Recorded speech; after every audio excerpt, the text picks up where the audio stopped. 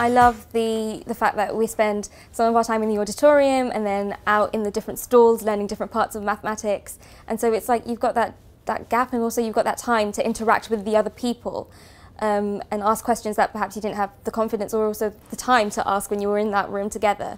And there's enough time in, in every part for you to be engaged and wanting to learn everything, but not enough time for you to get bored, like sometimes you might get in a lesson, um, and just, you know, keep, keep wanting to learn more. I think the fact that there are so many different careers in math and there are so many different pathways that you can go with and, and do and um, just the fact that you can learn so much with it. I mean, usually people think with math that there is a certain point that you just stop and then that's it. You've, you've, I mean, you've got nothing more to do, but there is so much more, there is so much that we don't know, so much that we don't understand, and also there are certain parts of math that we can use to prove and disprove these things as well, which is really interesting.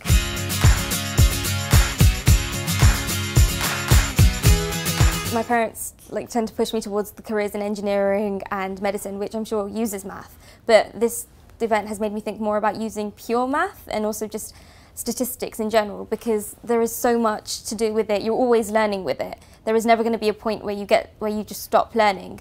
Um, and with this career, there's just it, it's it's different, but also like they were saying, I mean, it's a, statistic, it's a statistic that's shown that um, if you study math at A level, then you're likelier to get a higher paying and also a better job in the future, which is just a bonus, really.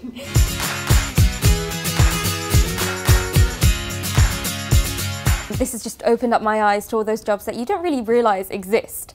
And now you sort of think, oh my gosh, I could go into so much more than just the typical, if you study math, you're going to either become a um, an accountant or a professor or something like that.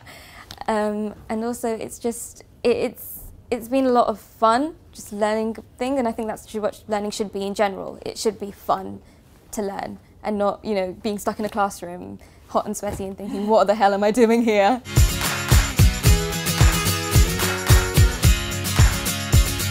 Well, it, it's definitely completely different to what I expected.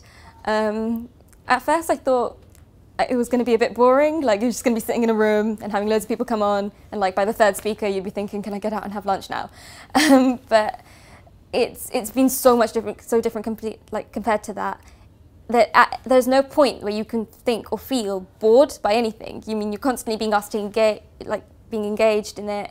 Um, you're constantly being asked to think about things, and like when you go out into the groups and you're just talking to other people, it's it's so interesting in the way that everything, although you wouldn't think it relates, it ends up relating to all the little different parts that you're doing over the day. And it's just, I, I, I don't know what else to say other than it's opened my mind so much more to just thinking of everything in one straight line.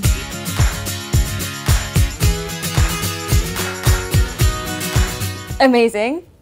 Um, mind opening, if that's a word. And also just different to what I've expected, but also different to what the whole world sees math as and what women in math is.